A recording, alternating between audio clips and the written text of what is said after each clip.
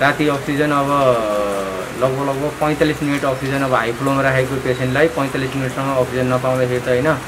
एकदम गाह्रै भएर मैले अक्सिजनको लागि गुहार गर्नु गएँ डक्टरहरूलाई। हो बिरामी एकदमै सङ्क्रमित बिरामी आफ्नो पीडामा हुनुहुन्छ। बिरामीका आफन्तहरू पनि एक किसिमको चिन्तामा पीडामा हुनुहुन्छ। त्यो भएको हुनाले कहिलेकाहीँ आवेशमा आएर आक्रोशमा आएर स्वास्थ्य कर्मीहरू अझ भयभीत भएर काम गर्नुपर्ने अवस्थाहरू सिर्जना भइरहेको छ। मेरो बिरामीलाई हेरिदिनु भन्दाखेरि तेरो बिरामी सिधै भनिदिने कि पेसेन्टको अगाडि सिधै तेरो बिरामी मर्छ। तेरो बिरामी मर्दैछ भनेर एकचोटि बिरामीको अगाडि भनिदिने। त्यो हुन्छ नि त अलिकति साइडमा आउनुहोस्। तपाईँसँग कुरा गर्नु छ केही छ तपाईँले यस्तो गर्नुहोस्। तर पेसेन्ट त्यहीँ छ पेसेन्टको अगाडि तेरो पेसेन्ट मर्दैछ। म गर्नु केही छैन हामीबाट यो हाई फ्लो भन्दा केही पनि छैन भनिदिनु। दस हो कहिलेकाहीँ फ्लो अलिकति कम हुन्छ। सिलिन्डर चेन्ज गर्ने बेला कहिलेकाहीँ पाँच मिनट पन्ध्र मिनटसम्म कहिले पनि फ्लो कम हुँदैन। पाँच मिनट जति कहिलेकाहीँ फ्लो कम हुनसक्छ फ्लो कम हुने बित्तिकै अलार्म सिस्टम बज्छ। अलार्म सिस्टम बज्ने बित्तिकै हाम्रो जो अक्सिजनको व्यवस्थापनमा खटिनुभएका कर्मचारीहरू तुरन्त अर्को बाँकी रहेको सिलिन्डरमा त्यो स्विच चेन्ज गर्नुपर्ने हुन्छ। गरि नै छ तपाईँले बुझ्नु सक्नुहुन्छ अरूलाई पनि होइन। अब होस्टेलको पेसेन्टहरू अरू पनि हुनुहुन्छ। लगभग लगभग पन्ध्र मिनट बिस मिनट अक्सिजन बन्द गर्दै राख्दै गरेको थियो। र अक्सिजनको कुरा गर्नु जाँदाखेरि डक्टरहरू रिसाउने यहाँ।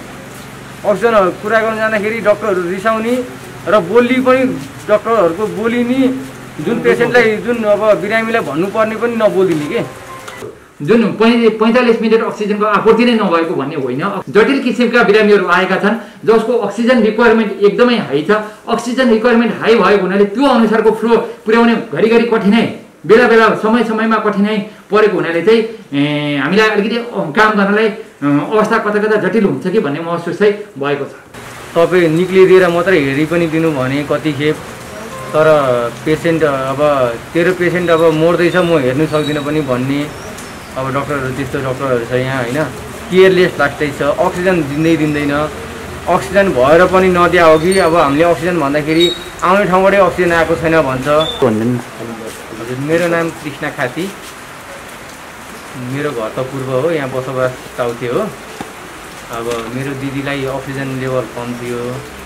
राति अक्सिजन अब लगभग लगभग पैँतालिस मिनट अक्सिजन अब हाई फ्लोमा राखेको पेसेन्टलाई पैँतालिस मिनटसम्म अक्सिजन नपाउँदाखेरि त होइन। एकदम गाह्रै भएर मैले अक्सिजनको लागि गुहार गर्नु गएँ डक्टरहरूलाई। तपाईँ निक्लिदिएर मात्रै हेरि पनि दिनु भने कति खेप। तर पेसेन्ट अब तेरो पेसेन्ट अब मर्दैछ म हेर्नु सक्दिनँ पनि भन्ने अब डक्टरहरू त्यस्तो डक्टरहरू छ यहाँ होइन। केयरलेस लास्टै छ अक्सिजन दिँदै दिँदैन। अक्सिजन भएर पनि नदिया हो कि? अब हामीले अक्सिजन भन्दाखेरि आउने ठाउँबाटै अक्सिजन आएको छैन भन्छ। घन्टामा जम्मा सातवटा अक्सिजन दिन्छ। हामीलाई हामीले कति अक्सिजन दिने भन्ने पनि कुरा आउँछ। म अक्सिजन जोड्ने ठाउँमै गएर पनि कुरा गरे हो। अब बाहिर सबैले अब अक्सिजन छ भन्छ। यहाँ होस्टेलमा अक्सिजन छैन भन्छ। अब हाम्रो अब हामीले अब हाम्रो मान्छे गुमाइसक्यौँ हामीले। अब दिदीको अब बेलुका साढे दस बजी अब त्यस्तो भयो। कति देख गतेदेखि त भएन हिजो त लगभग लगभग दिनभरि नै अक्सिजन त्यस्तै गरिरहेछ। पन्ध्र मिनट बिस मिनट पहिले गरिरहेको थियो। राति चाहिँ पैँतालिस पचास मिनटै अक्सिजन नदियो। दिनभरि नै छ तपाईँले बुझ्नु सक्नुहुन्छ। अरूलाई पनि होइन अब होस्टेलको पेसेन्टहरू अरू पनि हुनुहुन्छ। लगभग लगभग पन्ध्र मिनट बिस मिनट अक्सिजन बन्द गर्दै राख्दै गरेको थियो। र अक्सिजनको कुरा गर्नु जाँदाखेरि डक्टरहरू रिसाउने यहाँ। अक्सिजन कुरा गर्नु जाँदाखेरि डक्टरहरू रिसाउने र बोली पनि डक्टरहरूको बोली नि जुन पेसेन्टलाई जुन अब बिरामीलाई भन्नुपर्ने पनि नबोलिदिने के?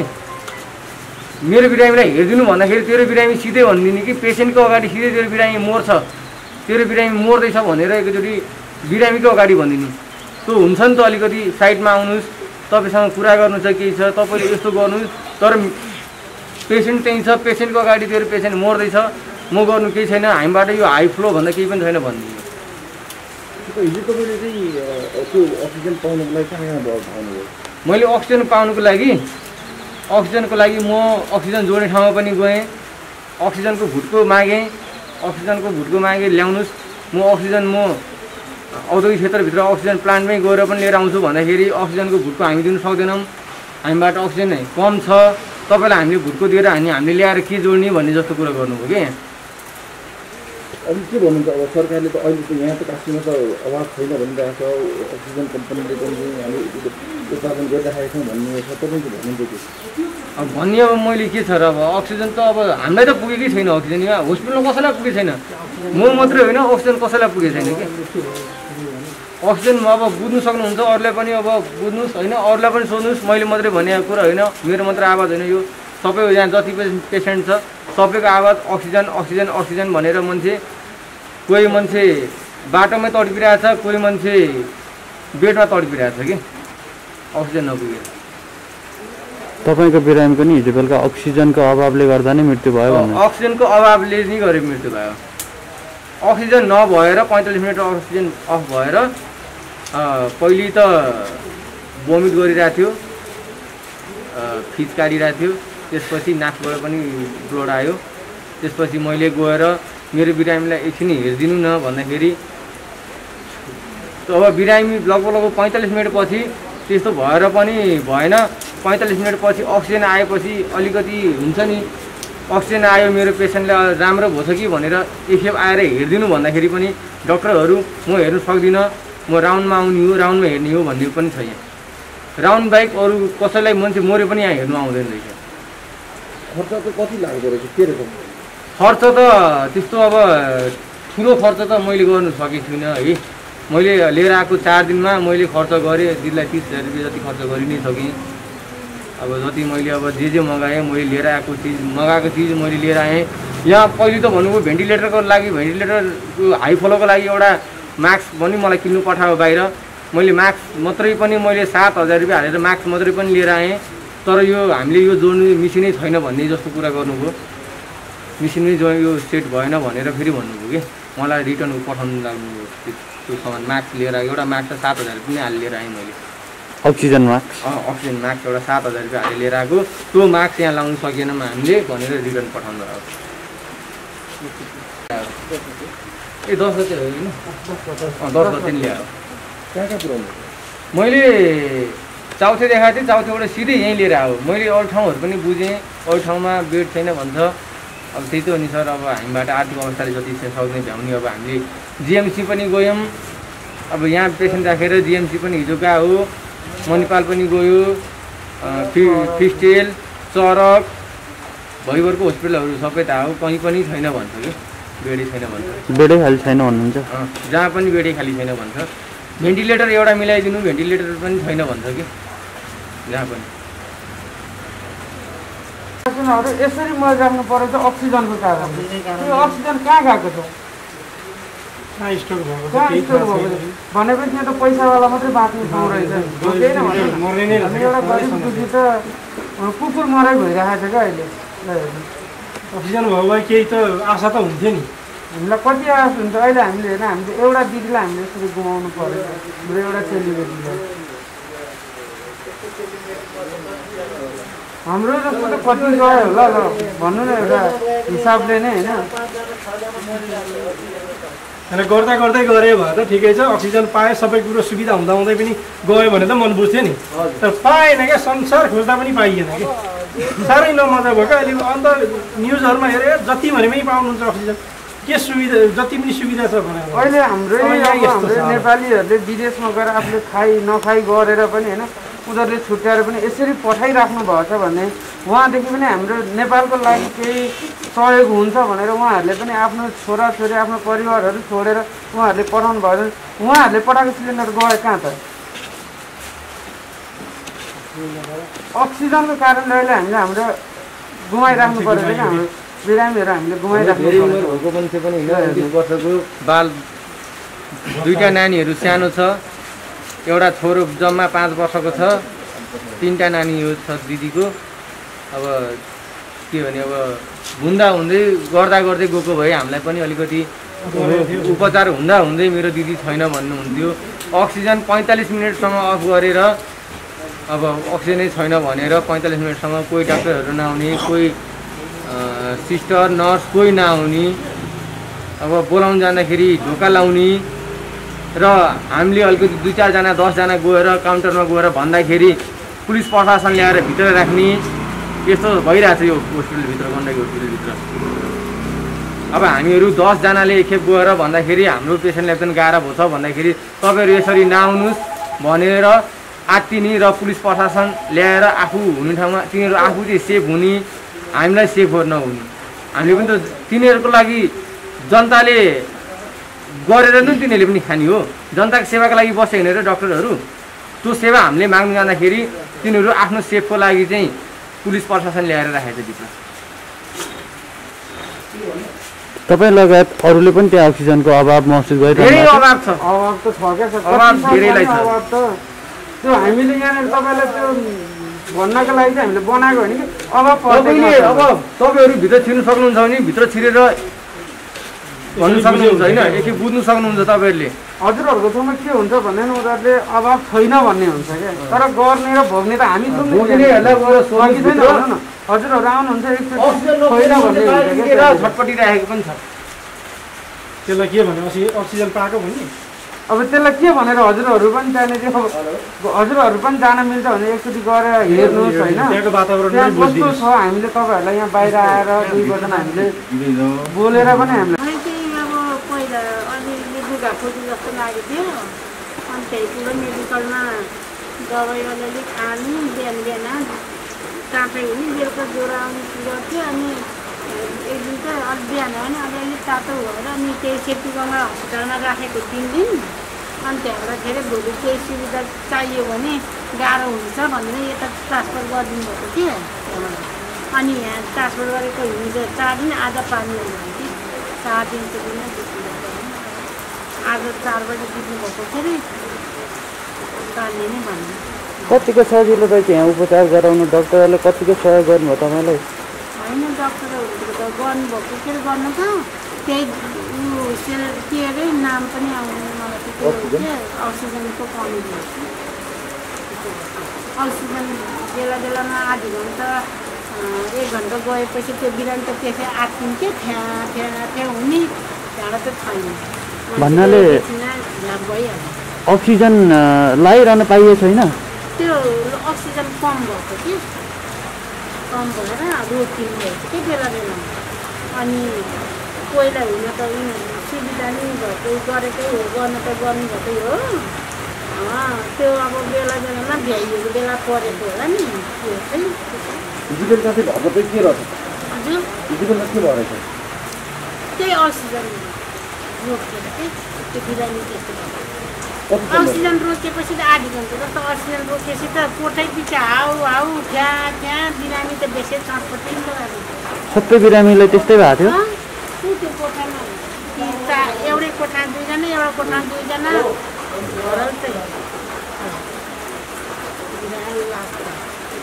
होइन अब के गर्ने रहेछ गर्नु त भन्न सक्दैन कारणले त्यस्तो हिजो आधी घन्टा पचास मिनट अक्सिजन रोकिरहेको थियो। रोक्ने आउने एकछिन रोक्ने आउने भएको। एकदम धेरै बेर नै आएन क्या आधी घन्टा जस्तै। अर्को है भएको छटपट कुन ठाउँबाट ल्याउनु भएको बिरामी कति वर्षको हुनुहुन्थ्यो? जस्तो पीडित भनौँ के अरे बिरामीहरूको मान्छे आफन्तहरूले चाहिँ अब डक्टरको व्यवहार बिहेभियर राम्रो भएन भन्छ के भन्नु अब कस्तो छ भने अहिले स्वास्थ्य कर्मीहरू एकदमै स्ट्रेसमा काम गर्नु परिरहेको अवस्था छ बिरामीको चाप बढेको छ उपलब्ध स्रोत साधनहरू एकदमै न्यून मात्रामा छन्। न्यून मात्रामा गुणस्तरीय स्वास्थ्य सेवा दिनलाई स्वास्थ्य कर्मीलाई एकदमै ठुलो चुनौती छ। न्यून जनशक्तिले सेवा दिइरहनु परेको छ र अहिलेका बिरामीहरू चिकित्सा बिरामीहरू छन्। र चिकित्सा बिरामी भइसके पछाडि सम्पूर्ण स्रोत साधन नहुँदाखेरि कहिलेकाहीँ समस्याहरू आउँछन्। त्यो समस्याका बावजुद पनि स्वास्थ्य सेवा दिँदाखेरि बिरामी पीडित हुने बिरामीका आफन्तहरू आक्रोशित भएर स्वास्थ्य कर्मीलाई कहिलेकाहीँ अलिकति रुखो बोली व्यवहार गर्दाखेरि स्वास्थ्य कर्मी पनि आफ्नो स्ट्रेसको कारणले कहिलेकाहीँ त्यस्ता बोलीहरू हुन सक्ने सम्भावना रहन्छ। त्यही भएको हुनाले त्यो मानव एउटा बिहेभियर हो। त्यसलाई अलिकति सौहार्दपूर्ण वातावरण बनाउनलाई विशेष गरी हाम्रा जुन सङ्क्रमित बिरामी अथवा बिरामीका आफन्तहरू पनि मिठो तरिकाले यसो किनभने उहाँहरू पनि तपाईँहरूकै छोराछोरी हुन्। स्वास्थ्य कर्मीहरू भनेका पनि तपाईँहरूकै छोराछोरी दाइ दिदी दाजुभाइ दिदीबहिनीहरू हुन् त्यही भएको हुनाले मिठो तरिकाले बोलिदिनु होला र हामी पनि हरेक दिन हामी छलफल गरिरहेका छौँ। कम्तीमा हामीले आफ्नो स्वास्थ्य सेवा दिँदा दिँदै बिरामीको मनोबल बढ्छ भने मिठो तरिकाले बोलाउँ भनेर हामी पनि प्रयास गरिरहेका छौँ। त्यही भएको हुनाले दुवैतर्फबाट सौहार्दपूर्ण पूर्ण वातावरण भइदियो भनेदेखि हामीलाई पनि किनभने बिरामी निको भएर जाँदा को क्षण जस्तो खुसियाली हामीलाई अन्य लाग्दैन। उपचार गरिरहेको बिरामीको कुनै दुर्घटना भयो गाह्रो भयो भने हामीलाई जस्तो पीडा कसलाई पर्छ। हामीले त हरेक दिन यस्ता केसहरू देखिरहेका छौँ। त्यही भएको हुनाले दुवैतर्फबाट अलिकति वातावरण सौहार्दपूर्ण बन्ने वातावरण सिर्जित भइदियो भनेदेखि हामीलाई पनि काम गर्ने मनोबल उच्च रहन्थ्यो जस्तो हामीले महसुस गरिरहेको अवस्था छ। यो अवस्था के हो अहिलेको चाहिँ थोरै बताइदिनु अहिले अब अहिलेको जुन यो दोस्रो लोहरसँगै अक्सिजनको खपत दिनानुदिन अस्पतालमा बढिरहेको छ हामीले वैशाखको चौध गतिदेखि हाम्रो आइसोलेसन कक्षमा सङ्क्रमित बिरामीहरूलाई उपचार गर्दै आइरहेका छौँ र दिनानुदिन बिरामीको सङ्ख्या बढिरहेको त्यो अनुपातमा अहिलेका बिरामीहरू विशेष गरी अक्सिजन आवश्यकता परे पछाडि अस्पतालमा आउने क्रम पनि बढिरहेको हुनाले अक्सिजनको खपत दिनानुदिन बढ्दै गइरहेको अवस्था छ र हाम्रो पश्चिमाञ्चल पोखरा स्वास्थ्य विज्ञान प्रतिष्ठान स्थित पश्चिमाञ्चल क्षेत्रीय अस्पतालको कुरा गर्नुपर्दाखेरि करिब करिब सुरुदेखि नै हाम्रो अवस्था बढ्दै गइरहेको अवस्था अक्सिजनको खपत बढ्दै गइरहेको र म्याक्सिमम् हामीले तिन सय पचासदेखि तिन सय साठीवटा सिलिन्डर दैनिक रूपमा खपत भइरहेको अवस्था चाहिँ छ। र अहिले पछिल्लो यो दुई तिन दिनमा कस्ता बिरामीहरू देखिएका छन् भने जो एकदमै अक्सिजनको मात्रा बढी मात्रामा चाहिने कम उमेरको समूह तर अक्सिजनको मात्रा एकदमै बढी मात्रामा चाहिने करिब करिब high flow nasal cannula system भन्छ भन्छौँ। त्योबाट हामीले अक्सिजन साठीदेखि अस्सी लिटर प्रति मिनट दिनुपर्ने किसिमका बिरामीहरू भनेपछि जटिल किसिमका बिरामीहरूको सङ्ख्या बढ्दै गइरहेको अवस्था सँगसँगै र अब यो वर्षायाम सुरुवात भएसँगै कहिलेकाहीँ विद्युतको आपूर्ति कम हुने विद्युतको आपूर्ति कम हुनासाथ जहाँ अक्सिजन उत्पादन हुन्छ त्यहाँ पनि समस्या समस्या जेनेरेट हुने। समस्या जेनेरेट भइसकेपछि थोरै मात्रामा पनि एकैछिन अक्सिजनको प्लान्ट रोकिने बित्तिकै त्यो प्रभाव चाहिँ हामीलाई पर्ने। भएको हुनाले पनि अक्सिजनको कता कता अवस्था कठिनाइ अवस्था आउँछ कि भनेर हामी त्यो भयभीत अवस्थामा काम गरिरहेको अवस्था छ र तथापि जुन आपूर्तिका कुराहरू छन् आपूर्तिका कुराहरूमा हाम्रो सम्पूर्ण टिम मात्रै नभइकन हामीलाई स्थानीय निकाय विशेष गरी पोखरा महानगरपालिका स्थानीय प्रशासन लगायत प्रदेश सरकारले पनि धेरै सहयोग गरिरहेको छ। ढुवानीका समस्याहरू आयो भने हामीले तुरन्त खबर गर्छौँ। त्यो अनुसार पनि सहयोग ढुवानीमा सहयोग भइरहेको छ तथापि हुँदाहुँदै पनि अक्सिजनको जुन प्रोडक्सन छ त्यो लिमिटेड क्यापासिटीको हुने र यता खपत बढी हुने र त्यति मात्र नभइकन पहिला अब धेरै अस्पतालहरूमा सङ्क्रमित बिरामीहरूलाई उपचार हुन्थेन केही अस्पतालहरूमा मात्रै सङ्क्रमित बिरामीहरूको उपचार हुन्थ्यो भनेदेखि अहिले धेरै अस्पतालहरूमा उपचार प्रक्रिया सुरु भएको त्यो सँगसँगै विभिन्न जिल्लाहरूमा पनि अक्सिजनका सिलिन्डरहरू वितरण भइरहेको परिप्रेक्ष्यमा छिमेकी जिल्लाहरूमा पनि अक्सिजनको जुन भर्नुपर्ने अवस्था अब यहीँ पोखराबाट भर्नुपर्ने अवस्थाहरू भएको हुनाले त्यो चाप चाहिँ हामीलाई परेको महसुस भइरहेको छ। र जुन आज राति अलिकति यो मृत्यु दर बढेको हो कि जस्तो महसुस हामीले गऱ्यौँ त्यो महसुस गर्दाखेरि हामीले विश्लेषण पनि गऱ्यौँ के समस्या भएर के साँच्चीकै अक्सिजन अभाव भएर मृत्यु भएको त भनेर हामीले छलफल गर्दाखेरि अहिले जुन विश्लेषण बिरामीको अवस्था सबै चिज विश्लेषण गर्दाखेरि अब बिरामीको जटिलता अहिलेको पछिल्लो क्रममा बिरामी जटिल किसिमका बिरामीहरू आएसँगै त्यो मात्रै नभइकन अन्य रोग भएका बिरामीहरू पनि जस्तो सुगर को कम्प्लिकेसन जटिलता भएका बिरामीहरू त्यति मात्रै नभइकन प्यारालाइसिस भएका बिरामीहरू डायलिसिस भएका डायलिसिस गरिरहेका बिरामीहरू पनि त्यस्तो बिरामीहरू पनि अब बढ्दै गइरहेको अवस्था छ। जुन अलिकति केही दिन अगाडिसम्म त्यस्ता किसिमका बिरामीहरू अलिकति कम मात्रामा देखिन्थ्यो। भन्दाको मतलब के हो त भन्दाखेरि सङ्क्रमण एकदमै दिनानुदिन बढ्दै गइरहेको छ। हरेक किसिमका बिरामी हरेक किसिमका उमेर समूहलाई यसले असर गर्दै गइरहेको छ। त्यही भएको हुनाले पनि जटिलता बढ्दै गइरहेको छ। त्यो अनुसार अक्सिजनको खपत दिनानुदिन बढ्दै जाने र अक्सिजनको प्रोडक्सन लिमिटेड हुने भएको हुनाले र धेरै अस्प- अस्पतालमा अब उत्पादन भएको अक्सिजन वितरण गर्नुपर्ने भएको हुनाले त्यो चाप चाहिँ कता कता प्रभाव पर्न थालेको हो कि बिरामीमा प्रभाव पर्न थालेको हो कि भन्ने महसुस भइरहेको अवस्था चाहिँ छ। डिमान्ड अनुसार कोभिड हस्पिटल घोषणा गर्नुभन्दा अगाडि यो कुराहरू थाहा थिएन र? यस्तो छ। कोभिड कस्तो छ भनेदेखि अक्सिजनको हामीलाई अहिले चार सयवटा सिलिन्डर भन्ने बित्तिकै चार सयवटा सिलिन्डर मात्रै उपलब्ध भएर हुँदैन। सिलिन्डरमा फिलिङ गर्ने निकाय फिलिङ गर्ने अहिले हाम्रो आफ्नै अक्सिजन प्लान्ट नभएको हुनाले हामीले निजी उद्योगसँग सहयोग सहकार्य गरेर अक्सिजन भर्नुपर्ने काम गरिरहेको अवस्थामा र उहाँहरूको पनि क्षमता लिमिटेड हुने र सिलिन्डर जति भए तापनि अब एकचोटिमा हामीले प्रयोग गऱ्यौँ भनेको करिब एउटा जुन मेनिफोल्ड भन्छौँ मेनिफोल्डबाट छवटा एउटा मेनिफोल्डबाट आठवटा सिलिन्डर प्रयोग हुन्छ। त्यो सिलिन्डरले एउटा प्रेसर जेनेरेट गर्छ। त्यो प्रेसर अनुसार हामीले हाम्रा बिरामीहरूलाई अक्सिजन उपलब्ध गराइरहेको अवस्था छ। त्यो यो अब जटिल किसिमका बिरामीहरू बढ्दै गइसके पछाडि त्यो किसिमको उपकरणहरू जुन हाई फ्लो नेजल क्यानुलादेखि लिएर भेन्टिलेटरहरू प्रयोग गर्नुपर्ने अवस्था जसमा अक्सिजनको खपत एकदमै बढी हुन्छ। त्यो अब खपत बढी भएसँगै यो समस्या देखिन थालेको हो। र हजुरले भनेको जस्तो यो कोभिड अस्पताल बनाउँदाखेरि त्यो सोचिएन। हामीले एकदम पक्कै पनि सोचेका थियौँ। त्यही भएको हुनाले हामीले यो पचास प्रतिशत बेड छुट्याउनु भन्दा भन्दै पनि हामीले नसकेको अवस्था। किनभने घाँटी हेरेर हाड निल्नुपर्ने हुन्छ।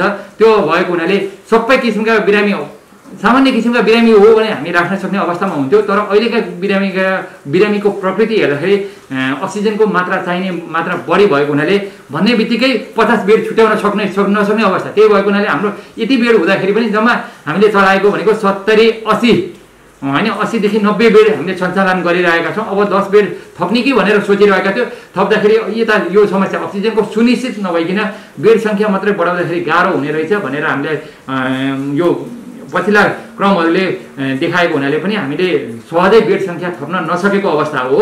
र जति हामीसँग जहाँ जहाँ पाइपिङ सिस्टम छ जति सकिन्छ त्यतिमा सीमित स्रोत साधनमा हामीले हाम्रा बिरामीहरूलाई सेवा दिइरहेको अवस्था चाहिँ छ। जुन पै पैँतालिस मिनट अक्सिजनको आपूर्ति नै नभएको भन्ने होइन। अक्सिजन जति अब कस्तो हुन्छ भने एकचोटिमा हाम्रो गाडीहरूले ल्याउने पन्ध्रदेखि बिसवटा सिलिन्डरहरू ल्याउँछन्। त्यहाँ उत्पादन कम भइसके पछाडि पैँतालिस मिनटमा पच्चिसवटा सिलिन्डर भनिन्छ रहेछ। पच्चिसवटा सिलिन्डर हरेक हस्पिटललाई डिस्ट्रिब्युट गर्नुपर्ने हुन्छ। होइन? त्यो भएको हुनाले पनि हामीले अब आउने जति त्यो जुन पैँतालिस मिनटमा अब अन्य हस्पिटललाई डिस्ट्रिब्युट गर्ने हाम्रो हस्पिटललाई डिस्ट्रिब्युट गर्दाखेरि कहिले काहीँ तिनवटा सिलिन्डर पाँचवटा सिलिन्डर समेत परेको अवस्था छ। त्यो भनेको पैँतालिस मिनट। पाँचवटा सिलिन्डर हामीले सत्तरी असीजना बिरामीलाई सेवा दिँदाखेरि त्यसले चाहिँ अभाव कता कता अभाव सिर्जना भएको त्यो भएपछि पर्याप्त मात्रामा अक्सिजन फ्लो नहुँदाखेरि त्यसले समस्या कहिलेकाहीँ निकालेको हो कि भन्ने महसुस भएको छ। तर बिल्कुल यो छवटा जुन डेथ भयो भन्ने यो घटना भयो यो घटना अक्सिजनै अभाव भएको कारणले त्यसरी भएको होइन। हो कुनै बिरामीको जटिलता बढेको हामीले महसुस गर्नुपर्ने हुन्छ हामीले बुझ्नुपर्ने कुरा छ भने जटिल किसिमका बिरामीहरू आएका छन् जसको अक्सिजन रिक्वायरमेन्ट एकदमै हाई छ। अक्सिजन रिक्वायरमेन्ट हाई भएको हुनाले त्यो अनुसारको फ्लो पुर्याउने घरिघरि कठिनाइ बेला बेला समय समयमा कठिनाइ परेको हुनाले चाहिँ हामीलाई अलिकति काम गर्नलाई अवस्था कता कता जटिल हुन्छ कि भन्ने महसुस चाहिँ भएको छ। जुन हामीले एउटा छ हजार अराउन्ड छ हजार क्यापेसिटीको सिलिन्डरमा अब त्यो भर्दाखेरि पाँच हजार अडचालिस सयदेखि पाँच हजार लिटर हुन्छ र अब त्यो फ्लो मिटरहरू जोड्दाखेरि कहिले काहीँ लिकेज हुने समस्याहरू हुन्छ त्यो भएको हुनाले जति मात्रामा अक्सिजन दिनुपर्ने हो त्यो मात्रामा दिन सकिँदैन। अर्को कुरा चाहिँ के छ त भन्दाखेरि सुरुको फ्लो एउटा हाई फ्लो हुन्छ। त्यसपछि बिस्तारै फ्लो कम हुँदै जस्तो जस्तो हामीले पनि नियमित घर गेको ग्यासहरू सिलिन्डरहरू प्रयोग गर्दाखेरि कहिलेकाहीँ सकिन लाग्यो भने हल्लाएर समेत प्रयोग गर्छौँ हो त्यस्तै कम हुन थालिसके पछाडि तुरन्त अर्को सिस्टम चेन्ज गर्नुपर्ने हुन्छ। तुरन्त अब छवटाको मेनिफोल्ड छ भने अर्को छवटा स्ट्यान्ड बाई हुनुपर्ने हुन्छ।